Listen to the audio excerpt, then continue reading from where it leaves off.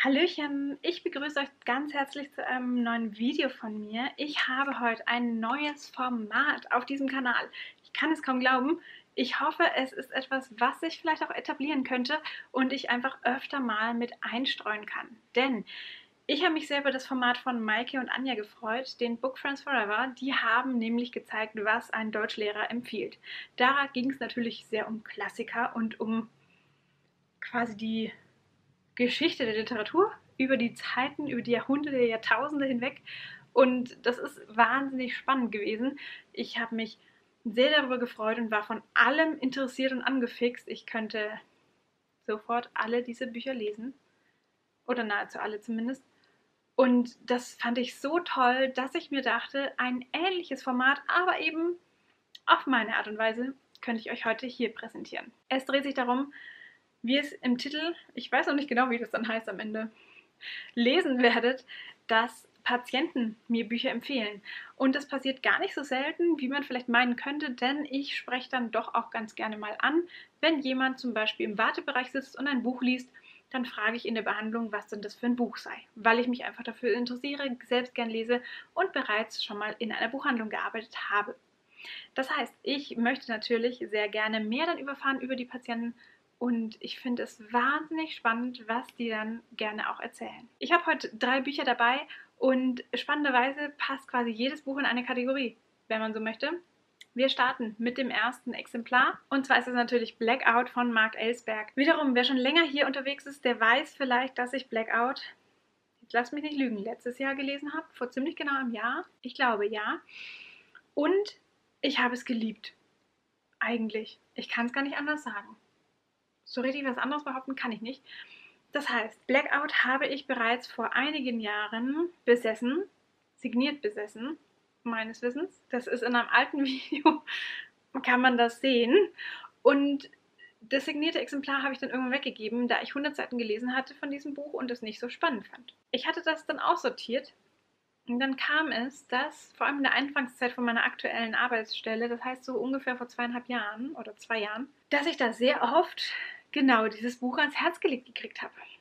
Da haben dann mehrere Menschen, wirklich mehrere, mindestens drei Patienten, mir erzählt, wie toll doch dieses Buch sei und dass ich es auch unbedingt lesen müsste. Weil ich jedes Mal meinte, ich habe schon angefangen, aber so richtig gefallen hat es mir nicht. Worum geht es hier? Es ist ein beklemmender Wissenschafts- und Technik-Thriller und das stimmt auch. Es geht darum, dass in ganz Europa alle Stromnetze zusammenbrechen und es ist natürlich Februar, das heißt es ist kalt und wir merken erstmal so der Reihe nach, was das für Auswirkungen hat. Natürlich erstmal die kleinen. Okay, man hat abends und nachts kein Licht. Das ist noch relativ verständlich. Ähm, man kann natürlich auch kein technisches Gerät verwenden, also sowas wie ein Wasserkocher, wie ein Elektroherd oder irgendwas dergleichen. Heizung geht nicht. Dann geht natürlich auch die Wasserspülung nicht, also Wasserhahn, aber auch Klospülung funktioniert nicht. Da das Ganze ja über eine elektrische Pumpe gesteuert wird, funktioniert es nicht das ist einem erstmal nicht ganz so sehr bewusst. Und was das dann noch viel, viel größere Ausmaße hat, ähm, wirtschaftlich gesehen, das wird einem erst so der Reihe nach bewusst und auch wie innerhalb weniger Tage sich ganz viel verändert und passiert, was man so nicht erwarten würde von der aktuellen Gesellschaftssituation, wie auch immer. Ich glaube, so langsam merken wir, dass die Pandemie einfach auch nicht nur so ein Zuckerschlecken ist und das stecken wir schon irgendwie weg, sondern wir merken alle, okay, wir müssen einen Weg finden, damit zu leben. So. Und das ist auch noch nicht so richtig leicht und auch noch nicht so richtig klar. Und hier passiert aber so viel auf einmal, weil es sofort an die Grundbedürfnisse geht, an die Versorgung, also an genug Essen, genug Trinken und es in Chaos zum Teil ausartet. Sehr faszinierend. Dann verfolgen wir vor allem Manzano, der heißt dann so, ne? Jedes Mal wieder. Piero Manzano, das ist ein italienischer ähm, Informatiker, der eine relativ große Reise dann irgendwann hinter sich legt, aber auch vor allem gejagt wird teilweise und ein Stück weit aber auch Schlüssel ist des Ganzen. Und wer da alles involviert ist und wie sehr man dann trotzdem den Überblick behalten kann, wie ich finde, unfassbar spannende 800 Seiten. Ich kann es nicht anders sagen. Es war wirklich echt richtig, richtig spannend.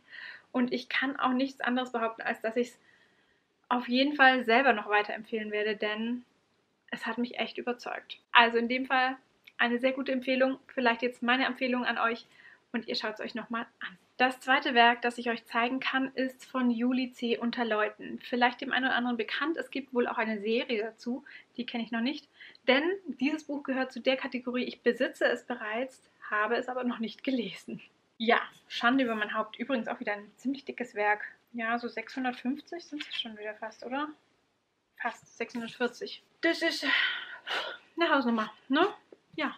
Hm. Gut, worum geht's bei Unterleuten? Wer nur einen flüchtigen Blick auf das Dorf in Brandenburg wirft, ist bezaubert von dem altertümlichen Namen der Nachbargemeinden, von den schrulligen Originalen, die den Ort nach der Wende prägen, von der unberührten Natur mit den seltenen Vogelarten. Punkt. Da ging die Stimme nicht runter. Doch hinter den Fassaden der kleinen Häuser brechen alte Streitigkeiten wieder auf und obwohl niemand etwas Böses will, geschieht Schreckliches.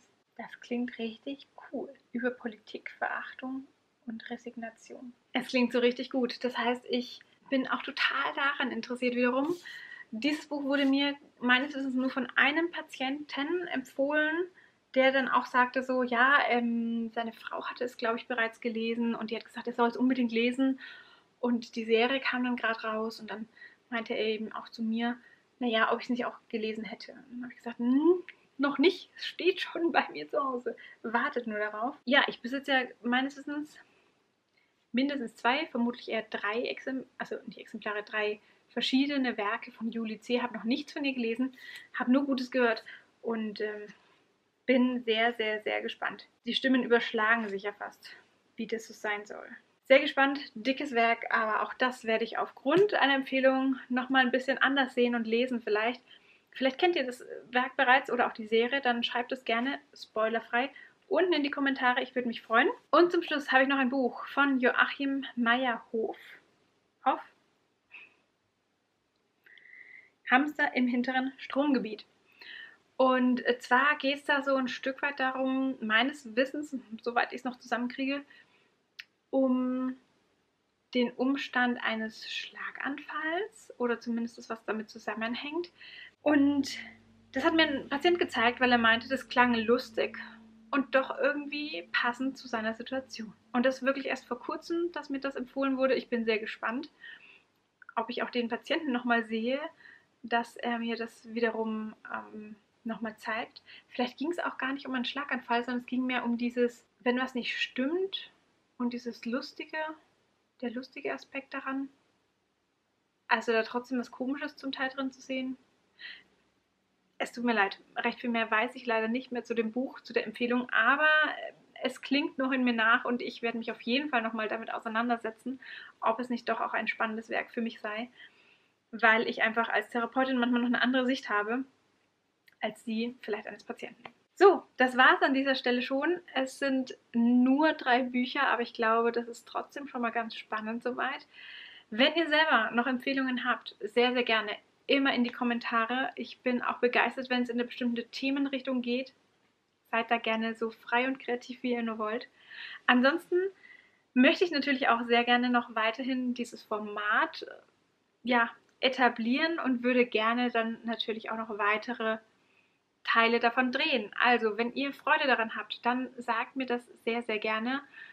Und ich werde dann versuchen, dass ich noch ein paar schöne Tipps, Buchtipps, fehlt das Wort, Buchtipps herausfinde bei meinen Patienten und mir die dann nochmal explizit besser notieren werde. Abgesehen von denen, die irgendwie automatisch schon übergegangen sind. Manche Exemplare hatte ich auch irgendwie schon gelesen oder haben mich grundsätzlich nicht interessiert oder ein Auto hat mich nicht interessiert.